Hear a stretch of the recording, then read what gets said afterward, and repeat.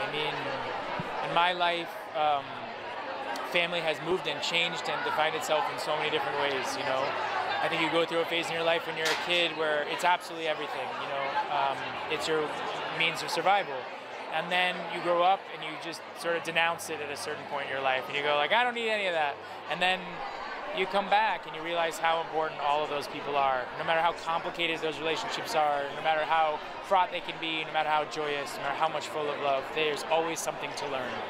And at this point in my life, I think family means something very different than it did to me in all different stages. I think it's the most important thing, the most nourishing, sometimes the most frustrating, and um, and it's really it's not everything to me, but it's pretty damn close. Yeah, I mean, especially having kind of well a family that's more in the spotlight than uh, than other families. How, how's that? Like, is that is that tough sometimes?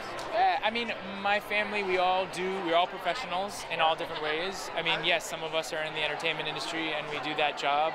But when we come back to each other, um, particularly my sister and I, um, you know, my sister had this huge successful year of a film that she wrote and directed last year, and really the most precious times for us is when we get to spend time with just her and me and my nieces and my brother-in-law and my girlfriend, and like those times for us are the most nourishing. I mean, I'm here to support her in everything she does professionally, and the same goes for my family who work professionally. But um, really, it's just like just having a great meal together is everything.